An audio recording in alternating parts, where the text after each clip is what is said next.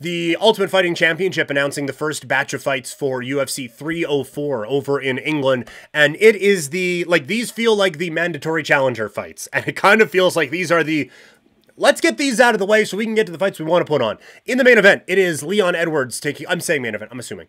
Uh, Leon Edwards taking on Belal Muhammad for the undisputed welterweight championship of the world in the Ultimate Fighting Championship. Um, Edwards, like, he has really established himself as not just the, the, guy who happened to get a lucky kickoff against um, Kamaru Usman. He has established his own reign. For Muhammad, this is several years in the making for him. He has been one of the top challengers at 170 pounds for a very long time and has been deserving of this opportunity for quite some time. And so there's been concern about his style, concern about how much of a draw he is, yada, yada, yada.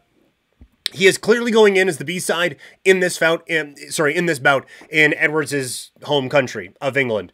Um, but he is every bit deserving of this opportunity. We'll break it down when it's happening, but uh, I think Muhammad does have a, a interesting style that can grind down Leon Edwards. The problem is Edwards has fought guys who can do that and kind of do it better than Muhammad, and he has managed to escape that. So I do think initially I give Leon Edwards the edge. In the co-main event, the interim heavyweight title on the line as Tom Aspinall battles Curtis Blaydes.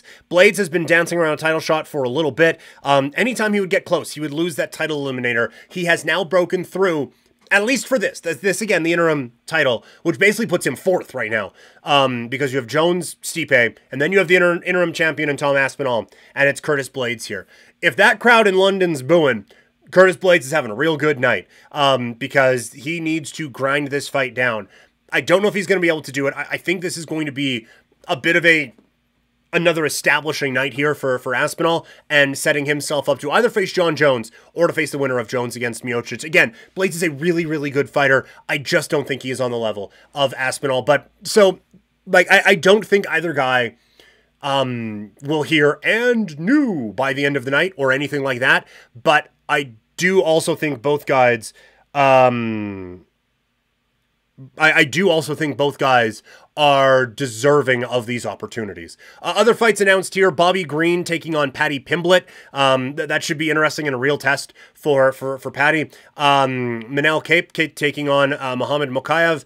Arnold Allen against Giga Chikadze. That's a really really fun fight. Daniel Pineda against Nathaniel Wood. Um, Shauna Bannon against Ravena Oliveira. Apologies for brutal pronunciation. And Bruna Brasil taking on Molly McCann. Um, so again, problem. Um, sorry for pro- pronunciation issues on both or uh, on on some of those, but uh, some really intriguing fights there.